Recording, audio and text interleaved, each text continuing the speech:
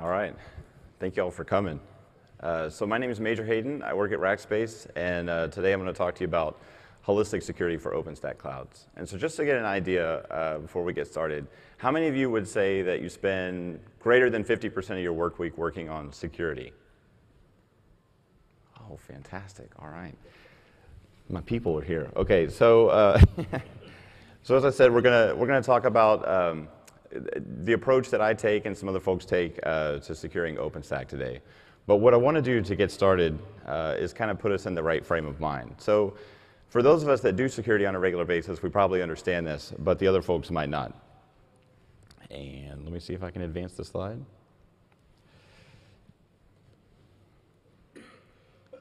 All right. So take a look at this picture. It's, it's one of my favorites. If you look, there's a storm coming in. Uh, it's in an older time. There's people on this boat. You can see some of them on the back looking to see where potentially they could go. The waves are getting bad.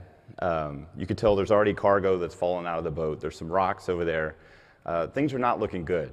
So this is one of those situations where everyone in the boat is doing everything they've been trained to do, pulling in sails, doing all these things, getting on top of the deck, helping out. Uh, but in the end, they're kind of rolling with those waves. And those waves might calm down at some point and they can, they can get out of there. Uh, it might turn their ship over, it might slam it into the rocks, they're not sure, but they're doing the best they can, and there's really no way to get extra help. It's not like someone can go leave port and go over there in these kind of waves and rescue somebody. There's not a cell phone, there's not a helicopter, there's not Coast Guard, anything like that.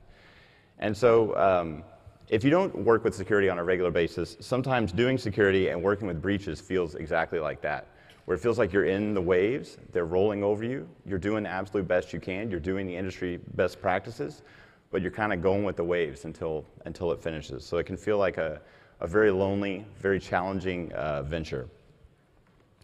And it can get worse as you start to look at um, more complex systems.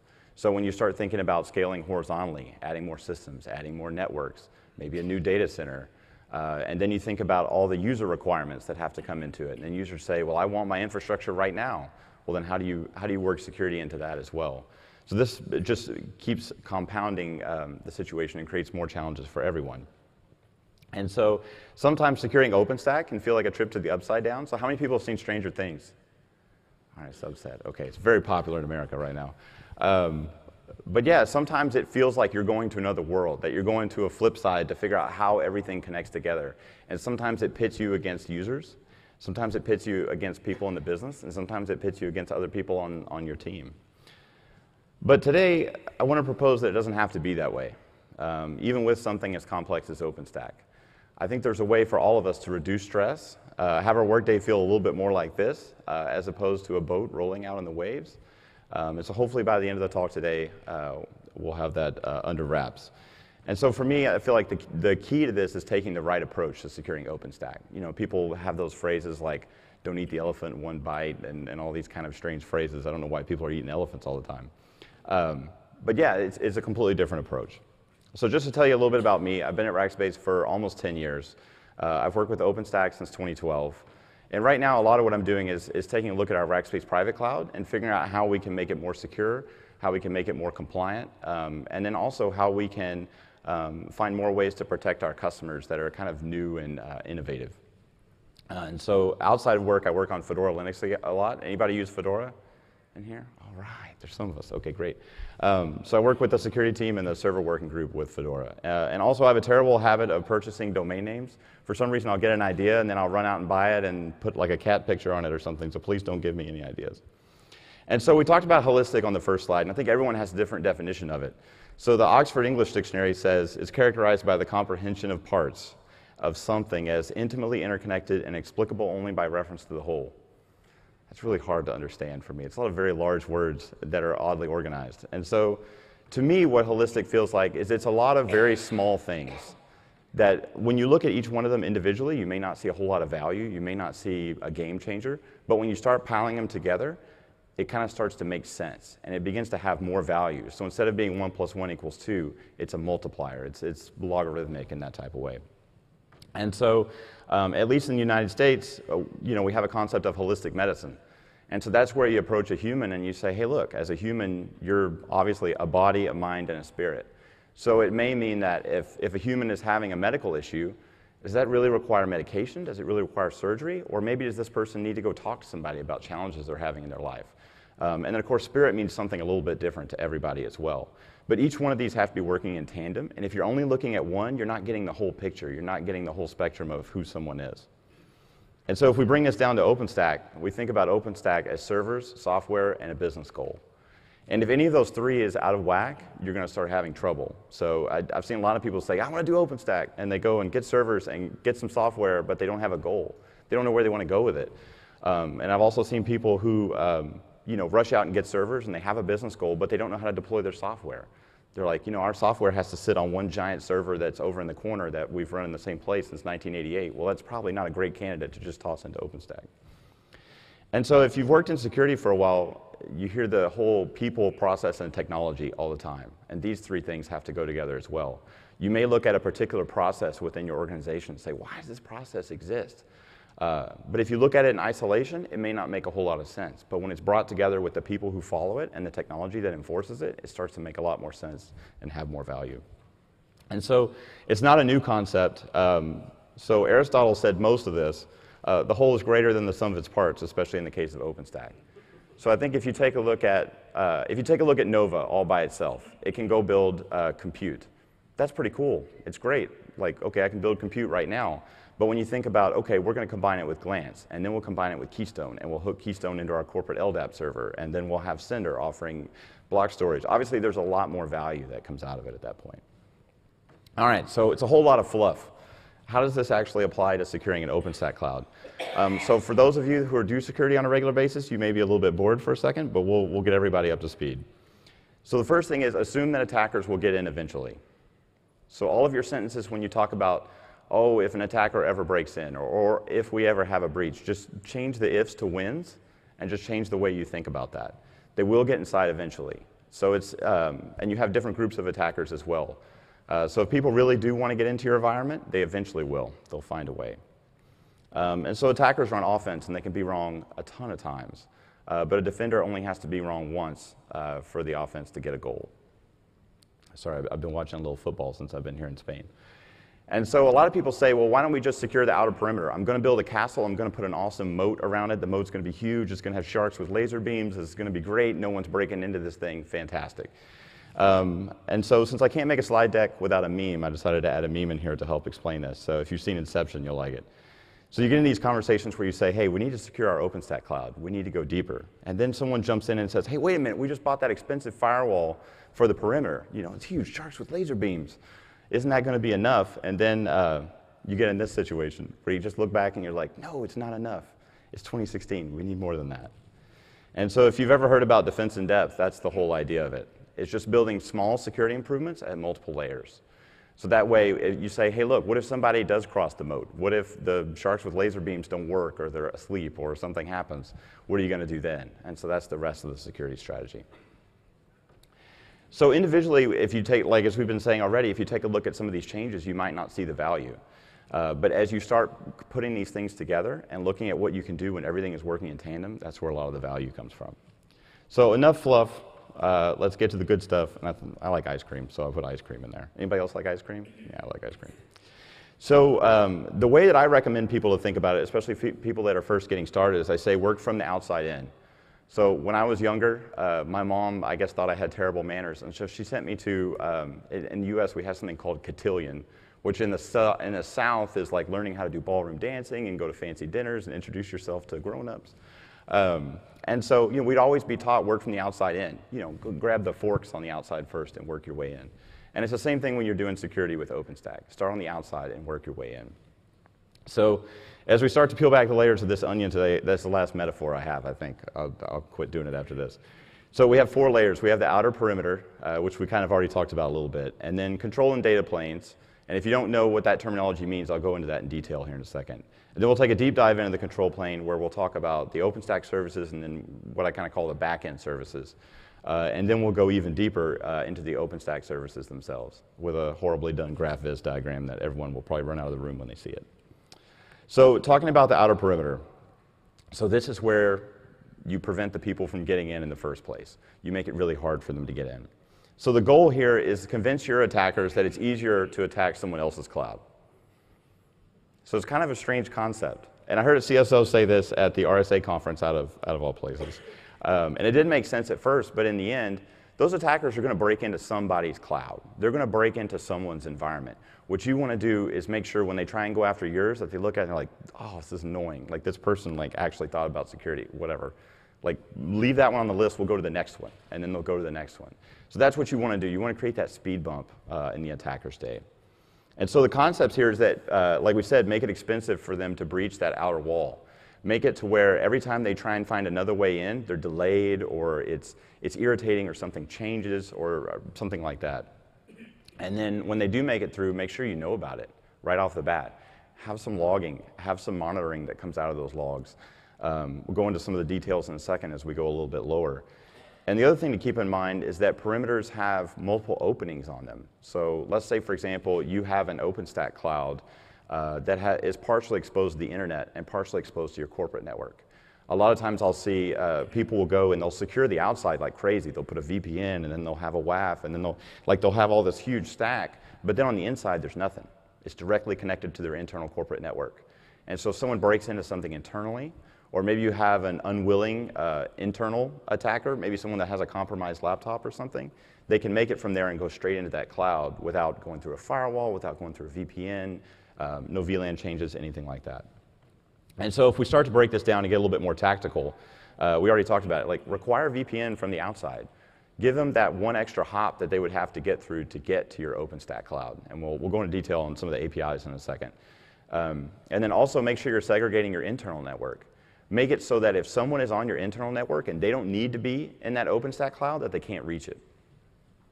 Um, and monitor all logins, successful and unsuccessful. So unsuccessful obviously makes sense to almost all of us that practice security because it can, it can show that maybe uh, someone has lost their credentials or lost part of their credentials and someone's trying something or trying to break a password. But the successful ones are almost as useful. So take, for example, you have a billing user, and that billing user always just goes in Horizon, grabs a report, and logs out. Like that's what that person does once a week. Uh, but then that person logs in, you know, Thursday night at 10 p.m. and is querying every Neutron network that exists on the host. Okay, well that's kind of a, a problem. So look for those things. Look for that uh, behavior that's a little bit unusual. And then track the bandwidth usage trends. Uh, know if someone is exfiltrating data out of the environment. Know if they're pulling something out. Is someone downloading all of your glance images? Is someone um, you know, dragging data out of VMs that they shouldn't be doing? So monitor that as well. And so if we put this in the visual form, um, on the left, uh, you would see the access to the internet. So the suggestion here is uh, have a VPN there. The, the role of that VPN, number one, is to create a, well, not really an air gap, but create a gap between the outside world and the OpenStack cloud. But what it also does is any traffic that comes through there is attributable to a user. So any valid traffic that comes through there, you can attribute back to the user that did it. And invalid traffic, you can go back and say, look, someone's credentials are compromised, or maybe their laptop has been compromised, or, or a mobile device, or something like that. And then on the right side, um, have everything feed into a logging system that then you alert on. So go in there and understand what does an unsuccessful login look like, or what is um, if someone fails to log into Keystone a certain amount of times, do you alert on that? So have all that fed in. Um, and NetFlow as well, look at that bandwidth monitoring, look at the metadata um, within the packets themselves, and really try to understand what that traffic is. And so if we go a little bit deeper, we get into this concept of control and data planes. Um, and so this may be kind of a, a, foreign naming scheme to some folks, but within Rackspace, this is what we call it a lot of times. So if we think about uh, breaking these things up, the control plane to us is all the OpenStack services like Keystone, Nova, Glance, Neutron, uh, but then all the services that help those services run. So RabbitMQ, Memcache, MySQL, these kinds of things. And then you have uh, what we call a data plane. And so that's where you're going to have hypervisors, you're going to have all the tenant infrastructure, maybe their networks, maybe their VMs, maybe their containers, um, any storage that anyone creates. And you can imagine you don't really want to have these two things uh, interconnected heavily. Um, it could create problems. So at this step, what our goal is, is to keep the inner workings of the OpenStack cloud separate from the tenant infrastructure. Um, and there's quite a few reasons for that, and we'll, we'll go into that in a second. And so the key concepts here is that uh, the tenant infrastructure has to have very limited access to that control plane. Uh, and vice versa. You don't want someone uh, that maybe has a misconfigured VM. Let's say um, they don't have a security policy applied, or they don't have a firewall applied, or you know, their password is password or something like that, and someone breaks in and uses that level of access to wander into Nova API, let's say, or wander into MySQL. Like maybe someone's got a MySQL server where they never set the root password, and someone just kind of wanders in and dumps all the data that's in there. Um, and then also we'll talk about uh, protecting your cloud from uh, exploits where someone can break out of the virtual machine and get access to the hypervisor itself. Because that may be where you have Nova Compute running. Uh, and we'll get into that a little bit more with the, uh, the OpenStack services. So specific things to do there is separate these three things. Note that there's three. There's the control plane, the hypervisors, and the tenant infrastructure. Make sure all three of those are separated so that way traffic cannot easily get between any of them without going through a firewall, without meeting a policy. Um, so worst case scenario, let's say someone had a VM exit exploit and they get access to the hypervisor as a normal user or as root. You don't want them to be able to go use that access to then go wander into your control plane and get more access to the environment. Uh, and then always use SE Linux or AppArmor or Tomoyo um, on hypervisors to reduce the impact of a VM exploit. Uh, so anyone who knows me well knows that I'm a huge fan of SE Linux. So if you turn it off, it makes me sad, as well as Dan Walsh. Um, and so if you're not familiar with Linux security modules, uh, there's three main implementations. Uh, AppArmor, you're going to find a lot more often on Debian and Ubuntu. Uh, SE Linux, you'll find on CentOS, Red Hat, uh, Fedora. Um, and then Tomoyo, uh, a lot of people like it. I think, it's, um, I think it's really popular in Japan, last time I talked to some folks. Um, and then when you look at libvirt, what libvirt does uh, when it goes to actually build a VM is it ensures that that VM is labeled or has an appropriate AppArmor profile so that that VM can only touch the storage and the networking and any other devices that it needs to touch. So the nice thing about this is that if there is a VM exit exploit, like let's say someone knows of an exploit in KVM or, or in the Linux kernel that they can use to break out, they end up being inside this little red box that you see on the slide. So they break out, but now they have access to the hypervisor, but they can't wander out of a very small little sandbox that they're in. So sure, they could go and destroy the disk for that VM, but if they were root already, they could have destroyed it from the inside. Now they're just destroying it from the outside. Um, and they can only touch the network devices or other devices that have been assigned to that VM. So they're pretty much stuck. At that point, they would need to have a vulnerability in SE Linux or AppArmor or the Linux kernel to be able to break out of that and keep going further. So the uh, moral of the story here is do not disable SE Linux or AppArmor on your hypervisors, ever. It's a terrible idea. Um, and the performance impact is very, very small. The last, uh, I think the last study that I saw said the performance impact is like less than 1% of CPU uh, to have it running on your average host. So that's very, very small. And so now as we go one level deeper, uh, we're digging into that control plane, so that left circle that you saw on that slide before. And so this is where we want to restrict lateral movement. And if you're not familiar with lateral movement, what we're talking about here is, like let's say for example, uh, an attacker finds a way to uh, break into something within your corporate environment. Maybe they get access to a printer that hasn't been updated, or they get access to a laptop, or something's infected. They get that initial foothold, and then they start kind of moving around to see what's available around them. Like a lot of times they'll go and try and find Active Directory or LDAP and things like that. Uh, but sometimes people might be able to break into one piece of a cloud and then kind of move around and get access to other things. And I'll talk about the crown jewels regularly through here. And, and what I'm really talking about here are the databases and the message queues that are involved with OpenStack clouds, because that's, that's your critical infrastructure for running the cloud. And so, uh, so we kind of split into two more circles now. So the circle on the left uh, is the OpenStack services. So that's all the like Keystone, Nova, Glance, Cinder. Then the backend services where you'll find MySQL, RabbitMQ, and uh, support services, and hopefully your syslog server as well. So the crown jewels are in that red circle. If someone gets access to your database, uh, your Nova database, they can go and uh, deny service. They can add access for themselves. They get access to the Keystone database. They can, they can have a lot of fun in there. Um, and then also if they can uh, inject or reject messages from the message queue, they can also cause problems. So if you're trying to send through a password reset, uh, they could go and block those so that they wouldn't be able to get into the environment. Or they can inject messages that says, shut all the servers off, shut this one off, shut this one off, and then you're kind of stuck trying to figure out what's going on.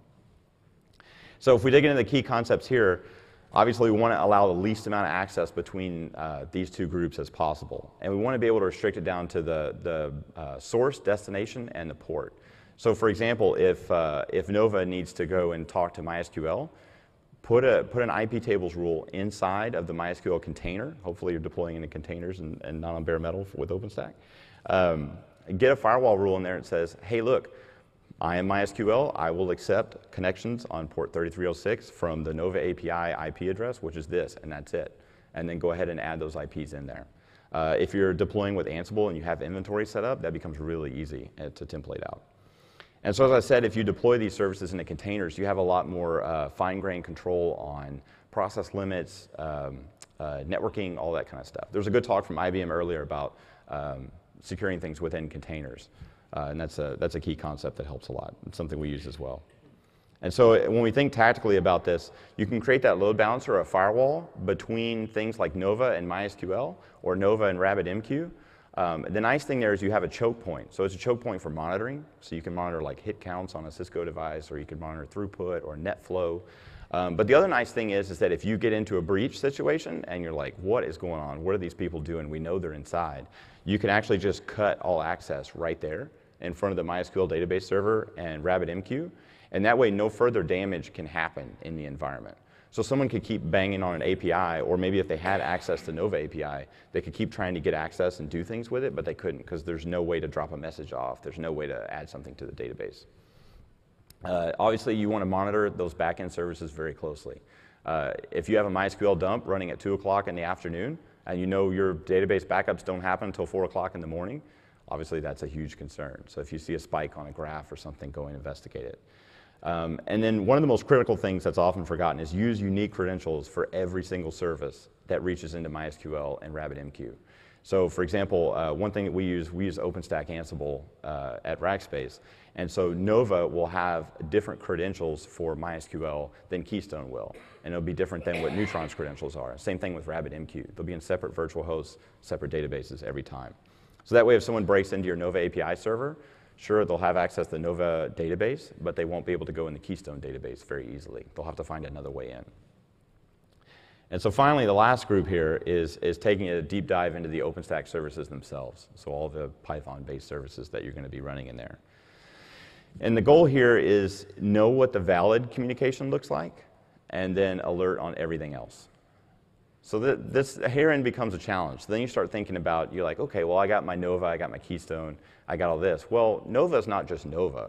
Nova is Nova API, and then you have Conductor, and then you have you know, Compute Node. Neutron's broken up into a lot of pieces with agents and things like that.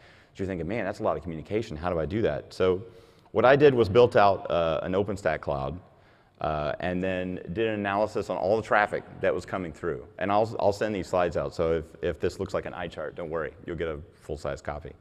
Oh, that was nice. All right, so, uh, wow, even the projector hates it. Make sure it's not wiggling over here. Oh, no. Oh, man, I should have turned the Bluetooth off before I got started. Um, so the, the idea here is that there's lots of uh, predictable interactions. So for example, if you see all the red lines, that's where services are talking to Keystone. They all talk to Keystone only on two ports. Uh, and then if you look, there's uh, quite a few orange lines. That's all the communication going to RabbitMQ. And so those only happen on a couple of ports, depending on if you're using SSL or not. And then same thing with MySQL or Galera, you're going to see the same types of connections. And then you think, well, wait a minute, there's like um, a whole bunch of wacky connections. Yeah, sorry about the craziness going on there. Um, there's a whole bunch of connections, like, for example, co coming out of Horizon. Um, I don't know if it's loose. I tried to push it back in. Um, there's a lot of connections uh, coming out of Horizon that go into other OpenStack services, but all of these are predictable. So this chart may be able to help you get through that. Oh, it looks like it calmed down a little bit. All right, so uh, if we think about the key concepts at this level, so think about that eye chart and bring it down to the concepts. These, these are all very heavily connected, uh, but the connections are predictable. You know what's going to talk to what, and you know what is not going to talk to what. Oh, go ahead. You just swap it, or? No, it's fine. I'll just, I'll quit moving. I'll just stay perfectly like this. Okay. Okay, cool. All right. We'll just cross our fingers. Uh, so they're, they're heavily interconnected, but you can predict all these connections. So for example, if I see uh, Nova API drop a message in the message queue and Neutron, I mean, sorry, Neutron API drop a message in the message queue and Neutron's L3 agent picks it up, I'm not worried. That's something that it's going to do all day. That's predictable. That's, that's fine. But if I see Keystone trying to hit Nova on port like 850, I'm going to be like, what is going on here? Like that's that's unusual. So these are things that you can go in there and create firewall rules that allow all the valid traffic. And then if you see anything strange like that, where Nova randomly talks to something on another port, that's a, a, really good sign that it's time to go in there and investigate what's happening. It could be a bug or it could be a new feature, but it also could be a breach. And so uh, when we start talking about getting tactical, obviously use IP tables to limit the connectivity and alert on everything else. So have it log drop packets um, and, and take a look at those packets, alert on those. Uh, and, and, then as I said before, give each service a different, uh, and this time around, give them each a different um, Keystone service account with different credentials as well. So that way if one service gets compromised, you're not worried about it uh, causing issues with other services. And then finally, monitor for high bandwidth usage and high connection counts. So if normally um, you know, you have a certain amount of connections between uh, Nova and Neutron, or maybe between Nova and Keystone, and all of a sudden that goes up by a factor of 10 one day and there's not a deployment or something like that. Could be a sign there's a bug, it could be a sign there's a compromise, maybe someone's trying to expose data within the environment. So now that we've gone through all four parts, let's wrap up. Over and over again today, I've gone through these four steps. So analyze what's happening in the environment, understand what's valid, understand what's invalid, and then find a way to isolate everything that's in that chain. So once you know what talks to what and why it does, start trying to put walls in between there with very, very, very small holes in them. Uh, and then continually monitor those. If strange stuff goes through that tiny hole that you poked in the wall, then obviously that's something to take a look at. Or if there's a new connection that's trying to occur that you're not allowing, it may be a new feature, it may be something you're using that you haven't used before, and consider changing those firewall rules. And then finally, repeat. So especially in, uh, when it comes to a breach, really try to understand how did they get in, what processes did we mess up, was it a technology issue, what was it, and go through this process over and over until you get it more and more secure. And so these small changes add up to a very strong defense. Uh, and the other nice thing is that all the changes are very small, so it's not like you're uh, you know, coming down like the Spanish Inquisition to go, you know, find out what's going on in an environment. Because no one likes it when corporate security comes down and says, we need to talk to you about your OpenStack cloud. Like that's, I've worked in corporate security, so I've had to do that a couple times. Um, but yeah, nobody likes that. But people love it when they say, hey, can we make this small change? It's part of this bigger goal that we're trying to get to. And we've already tested it in your environment, and we know that it's going to work. Uh, those conversations work a lot better than um, I have a ream of paper that shows everything that you need to go do to your OpenStack cloud. It's, it's a little bit rough. And so finally, if you want to try this out in a very quick way, try out OpenStack Ansible. So it's, uh, it's an OpenStack project that we contribute to, and um, quite a few other companies contribute to it as well. Um, what it does is deploys enterprise-grade OpenStack clouds with Ansible. And so a lot of these features, oh, here we go again. Maybe it's the white. Man, I don't know what it is. It's like that bright white on there.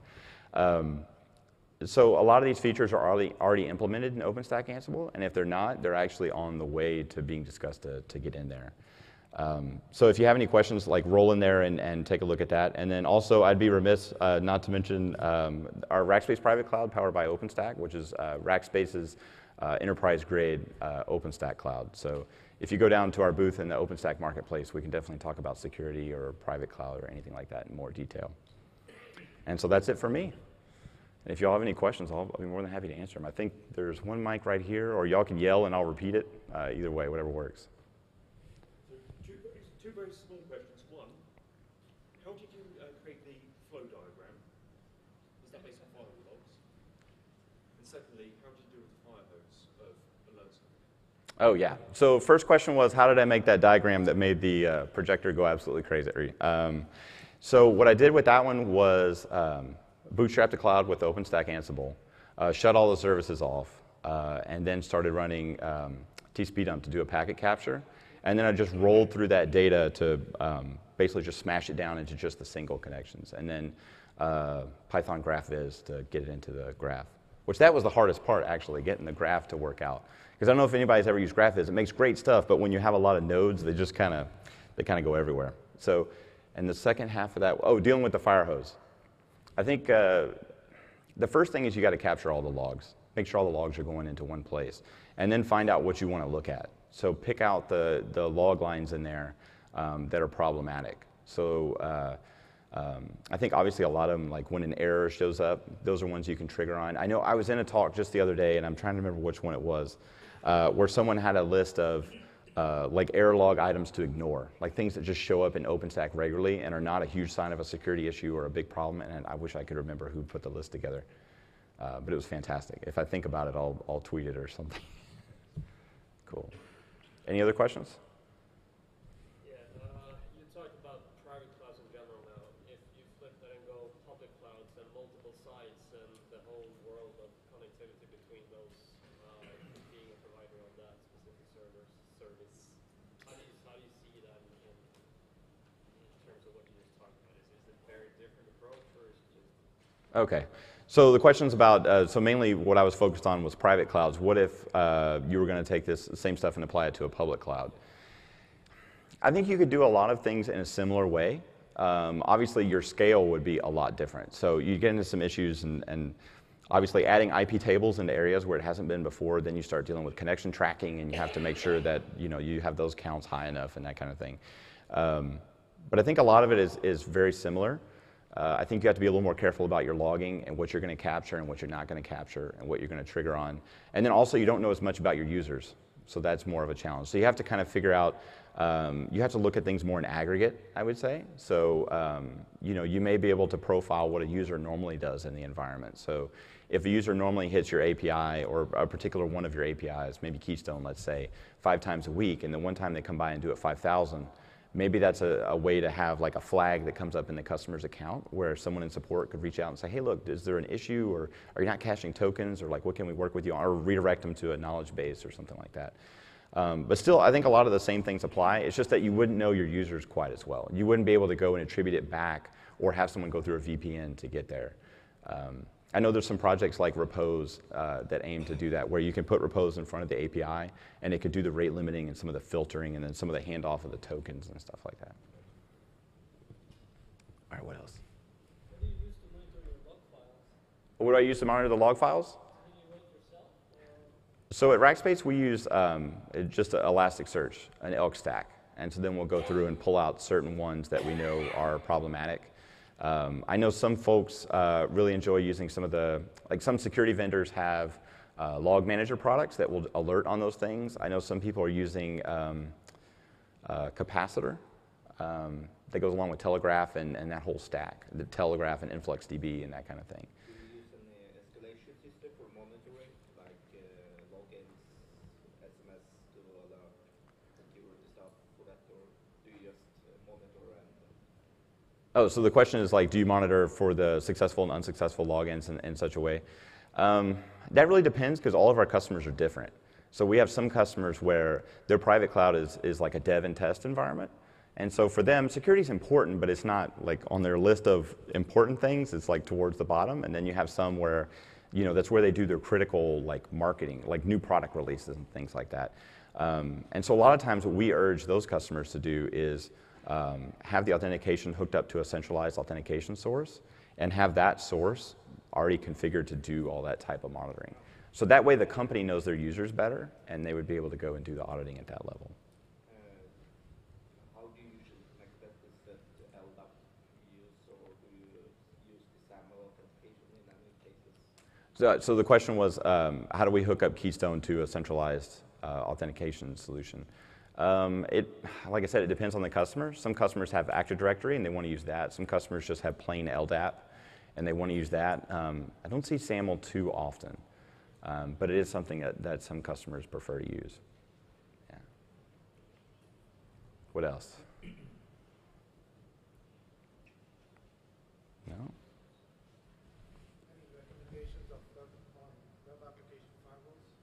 recommendations on web application firewalls?